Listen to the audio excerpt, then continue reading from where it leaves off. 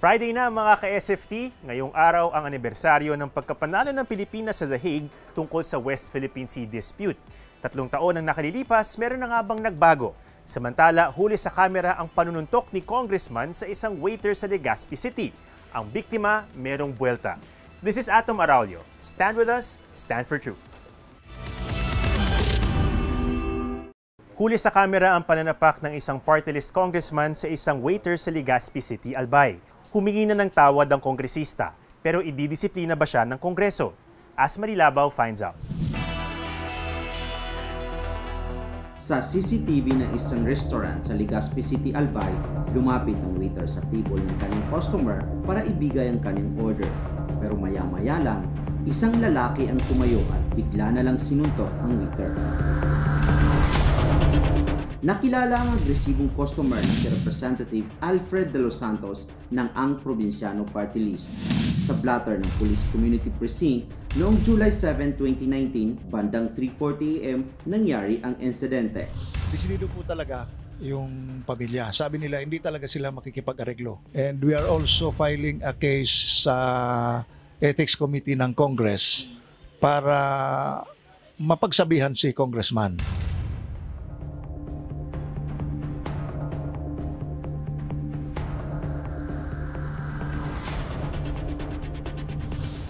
Power ng isang tao is parang ah, ginagamit niya para makontrol ng tao. Nakadismaya po yung ginawa niya yun sa panahon kasi ngayon. Meron pa rin talagang mga nasa posisyon na hindi makatarungan yung pagpakikitungo sa ibang tao.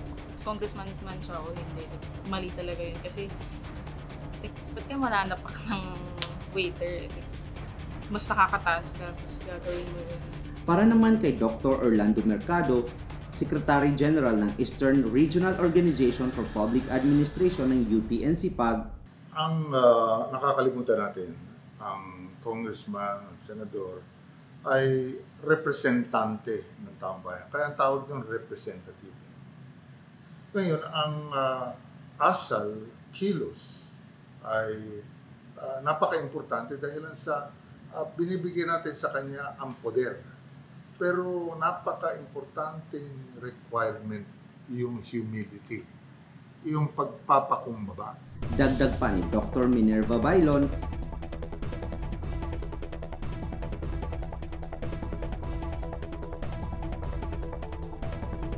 at pahayag naman ng co-director ng Center for Policy and Executive Development na si Professor Florano Nakapagpatawaran na daw ang dalawa at binisita pa ni Kong De Los Santos ang biktima. Sinisikap namin makuna ng official statement si Christian Kent Alijo kaugnay rito. At ang spokesperson naman ng Associated Labor Union or ALO, hinihikayat ang biktima na ituloy ang demanda.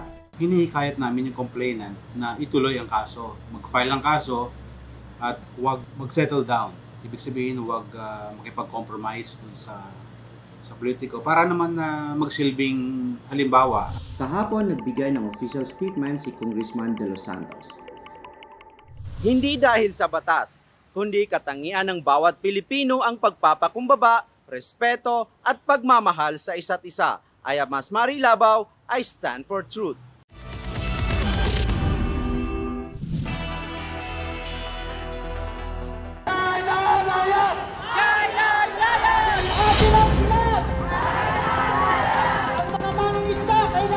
Hustisya, isigaw, atin ang Pinas!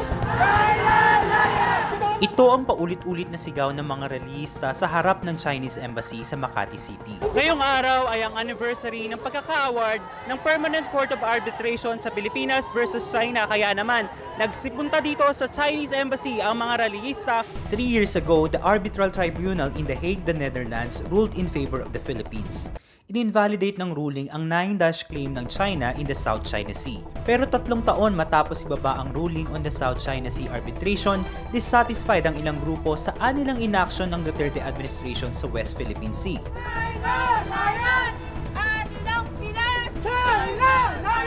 Panawagan nila, i-assert ng administrasyon ang sovereignty ng bansa sa West Philippine Sea at ipagtanggol ang karapatan ng mga mangingisdang Pilipino sa sarili nilang karagatan. Ang tagumpay na ito ay bigo na makamit at maranasan ng mangingisda sa ating bansa.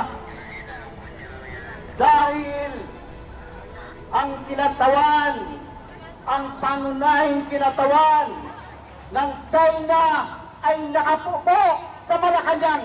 Si dating bayan muna Representative Nery Colmenares nagpahayag naman ng pangamba na maaaring maging pabor sa China ang charter change o CHACHA na isinusulong sa Kongreso. Nakalagay kasi sa 1987 Constitution, proteksyonan ng Pilipinas ang kanyang mangingisda at ang kanyang fishing grounds uh, against foreign intrusion. Doon sa chacha ni President Duterte as embodied in Resolution of Both Houses number 15, ha, yun yung pinakahuling uh, chacha ni Duterte, i-delete yun. So mawawalan na siya ng tungkulin na proteksyonan ng ating mga mangingisda at ang ating mga fishing grounds. Pilipinong mangingisda, dapat dito matapos ang ating pagsasama-sama. Matapos ang isang maiksing programa sa harap ng Chinese Embassy, papunta na ngayon sa Ayala Center ang mga relista para doon ipagpatuloy ang kanilang protesta laban sa China. Hoy, ang China, nagnakaw, suga pa. Hoy, ang Panawagan namin magising ang ating mga kap- kababayang Pilipino at manindigan para sa bayan at para sa Diyos. I'm very proud of them. I'm very proud to see them uh, walking in Makati to show that we Filipinos are still patriotic and we want to save our sovereignty. Dati nang iginiit ng Pangulo at ng administrasyon na inaaksyonan ang mga issue with China. Sa katunayan, sinabi ni President Rodrigo Duterte na abangan ang kanyang lecture on the West Philippine Sea issue sa kanyang ikaapat na State of the Nation address. Bagaman maikli ang programa sa Makati ngayong araw na nawagan ng mga relista na ituloy ang protesta sa darating na sona ni President Rodrigo Duterte sa July 22.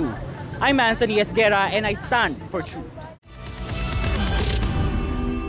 Today marks the third anniversary of the Hague Tribunal ruling on the West Philippine Sea. Meanwhile, 87% of Filipinos in an SWS survey say that the government should assert its rights more hmm. over this disputed territory. Uh, Richard, alam na natin to, narinig na natin hmm. before, but has anything changed as hmm. far as the government's position and action pagdating sa malaking issue na ito? So just a few days ago, Atom, no, pinag-usapan natin yung record high approval rating ni Paolo Duterte. But we always explain that when it comes to his approval rating in general, it's it's quite nominal. Like, okay, okay na si Paolo Duterte. It's not really that enthusiastic support. But when you look at specific issue, doon mo makikita na on the West Philippine Sea, on the China issue, the president is actually quite isolated. In fact, very unpopular. Uh, wag natin makalimutan, nung few years ago, the president said that I'm just gonna set aside the arbitral tribunal ruling. He repeatedly questioned the value of the arbitral tribunal ruling. And yet, pag tinanong ang taong bayan, more and more Filipinos are saying we have to assert it because they see the value. In fact, 93% of Filipinos said we have to take back yung mga isla na kinuha ng China sa atin, katulad ng Panatag Shoal, no? Mm-hmm. So even more number of Filipinos want us to assert our rights and sovereignty claims. Let's be very clear about it. The arbitral tribunal only affirmed our sovereign rights in the area, our claims to the fisheries and oil and gas resources there. It did not affirm, though, our claim to specific rocks and islands in the area. Nonetheless, base sa ating saligang batas, base sa ating pananaw, sa atin ang Panatag Shoal, sa atin yung mga isla sa Group of Islands. So, so let's be very clear also about that. So the people want the president to assert it. By the way, in fact, from September last year up until June of this year, more and more people actually want the president to also use the help from United Nations, from ASEAN, and international organizations to push back against China. Mm-hmm. Last year, September, only 71% of Filipinos said we should do that. Ngayon, 83% of Filipinos want us to do that. So 12% more want us to get the help of international organization to push back against China. Kaya para sa mga karamihan ng Pilipino, we see the United Nations, we see the ASEAN International Organization as our friend or ally. Which is again very different sa sinasabi ni Paolo Duterte na ang UN walang silve, na he criticizes this international organization. So it's very clear on this issue. This is perhaps the Achilles heel of the president, right? Mm-hmm. And even though the president is very popular, nakikita natin he's so defensive that he told us very clearly na pagdating sa kanyang SONA next week, he's gonna lecture us. He's gonna educate us bakit he's allowing the Chinese fishermen and, and vessels to enter the Philippines exclusive economic zone. Because he knows Basically, Atom. yeah. He knows he is unpopular on this issue. So he's in a defensive position on this. He's doubling down, basically. Exactly.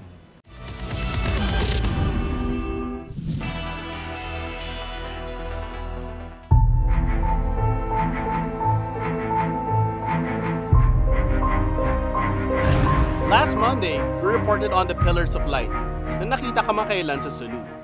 Today, papaliwanag ng isang expert mula sa pag-asa ang science behind this phenomenon. May dalawang ingredient siya basically is the the light. So basically two source uh, it could be from the moon if at night and from the sun in the morning.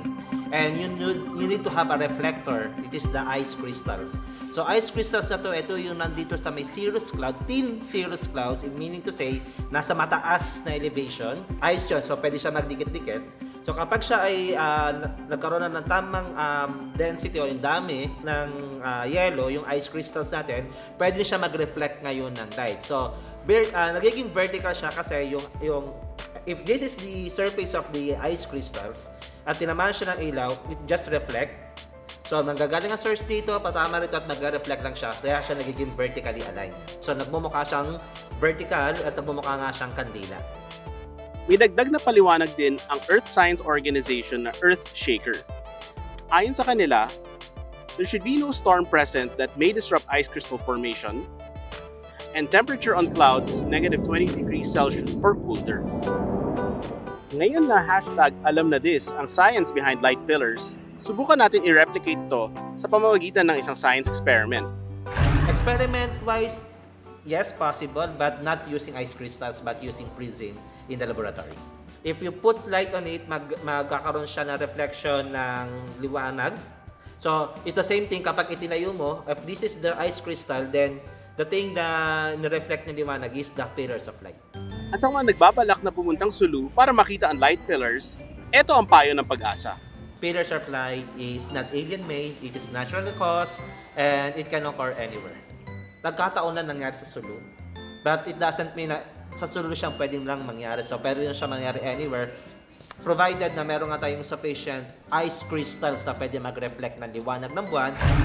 Subukan man natin i-replicate ang light pillars gamit ang science, mas nakamamangha pa rin ang gawa ni Inang Kalikasan.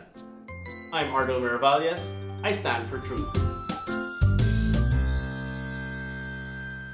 Pinagbabaril ng riding in tandem ang isang radio commentator sa Kidapawan City. Hindi pa nakikilala ang sospek at hindi pa rin alam kung may kinalaman sa kanyang trabaho ang pagpatay sa biktima. Siya na ang panglabing tatlong mamamahayag na pinaslang sa ilalim ng Duterte administration. Pinilikan ni MJ Hieronimo ang mga kaso ng media killing sa bansa.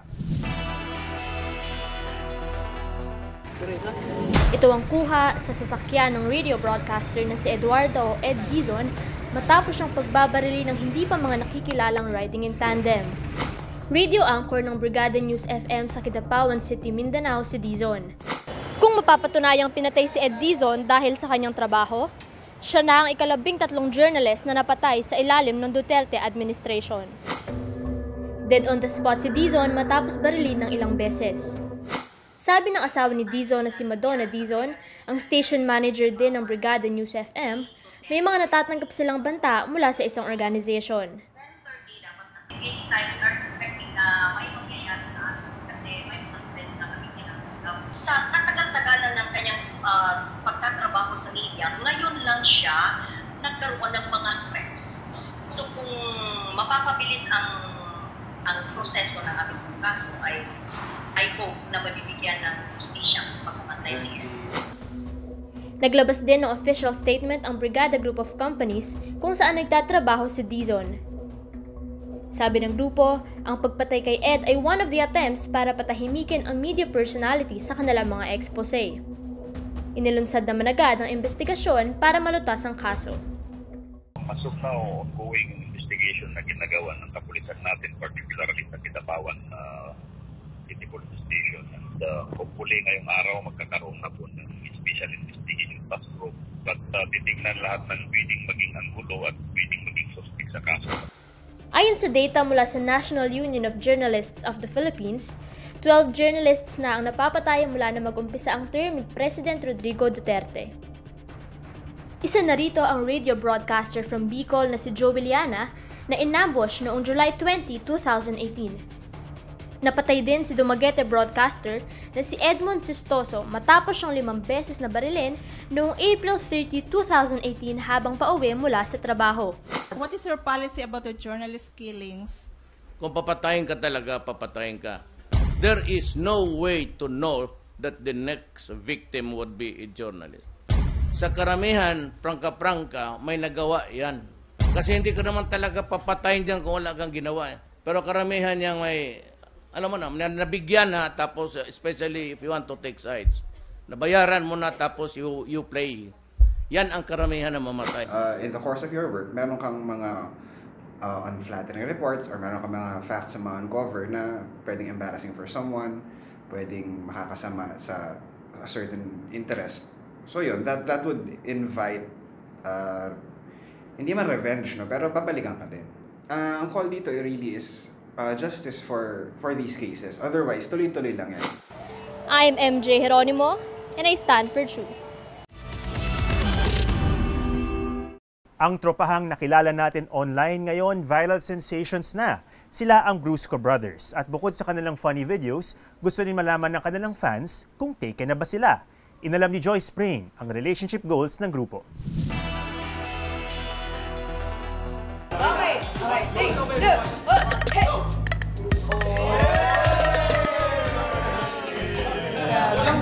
Kulang? Kulang, kulang. Konti pa, konti pa. Strawberry, go, strawberry.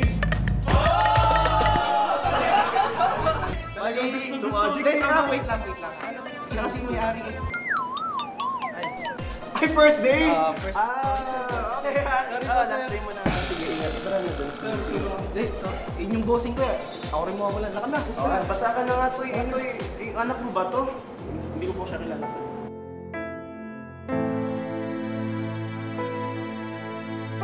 What's up you guys? My name is Joy Spring at magkakasama ulit tayo dito sa Stand for Truth. Kakwentuhan ko ulit ngayong araw na to ang Brusco Brothers! Yes! Guys, at dahil naman madami kayong napapasaya, marami kayong mga creativity online. Pangit. Pangit. Oh, ba't kanyang tumingin? Hindi ako yun. Hindi ako yun.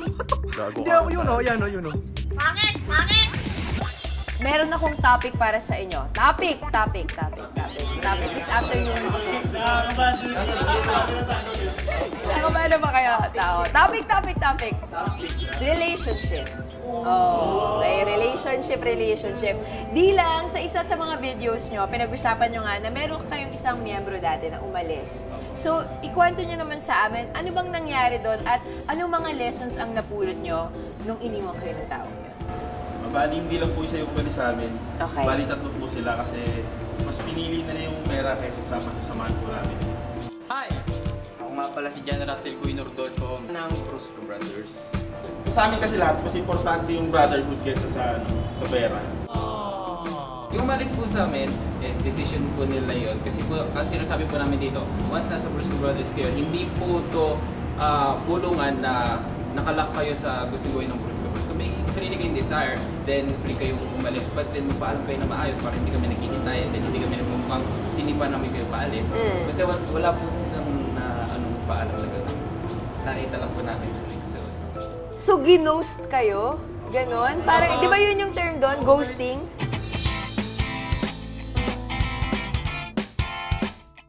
Pero ito, ang tanong ng maraming netizens online. Ano nga ba ang relationship status ng mga Brusco brothers?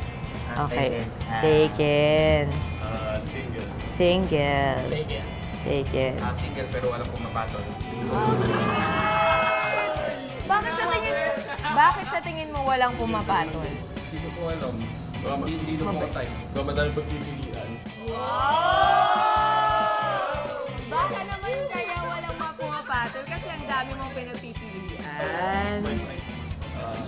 Take it, High Commander.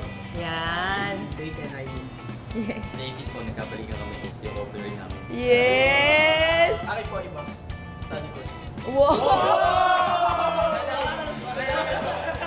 Ako po ano, single kasi gusto ko lalaki. Charo. An advice, because sometimes, you know, you meet guys na masyadong either gentleman, masyadong um, may best friend silang babae. So, pinagkakamalan talaga sila na lalaki din ang gusto nila. Anong advice nyo dun sa mga lalaki na yun para mawala sila sa Becky zone? Ako po kasi, ang ginagawa ko po talaga, hindi ako, ano, hindi ako, nag, hindi ako mahilig magsalita. Pagka sa ano, off, off cam po, hindi po tahimik ako, ganun Ah. ginagawa ko. Parang suplado. Parang Eh. ako bad boy. Wow! Hindi. Paano, paano, paano yung bad boy? Ah, ganun lang. Wow.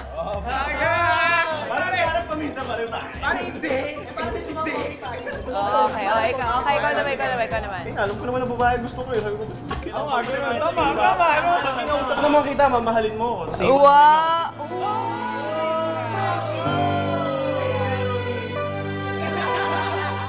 Ano ang masasabi nyo sa mga nagmahal pero iniwan? Um, siguro pag ganun, ah, alam mo naman yung worth mo, di ba? Iniwan ka, you're better than that. So, alam mo namang may... Ay, wag. Alam mo namang may mas magandang darating. Ang daming tao sa mundo, hindi lang siya. Huwag mo kulong, huwag mong gawing tao yung... Eh, mundo yung tao siya. Ah. Pero kung paano lahat yun ayaw sa'yo. Oh! eh, gusto, eh, gusto mo nga ako eh. And that's it. Maraming salamat, guys! Yan na nga ang usapang relationship kasama ang Brusco Brothers. Siyempre, huwag niyo kalimutan na i-check out ang kanilang mga Facebook pages, Instagram, and siyempre YouTube. Congratulations! 1 million na yan, no? Yes! 1 million na. Once again, my name is Joy Spring with the Brusco Brothers. And this has been Stand for Truth. And that's our episode this Friday. Kung nasa bahay lang kayo this weekend, go ahead and marathon our previous stories to the links below. I'm Ato Morado together with Richard Haydarian and Joy Spring. Stand with us, stand for truth.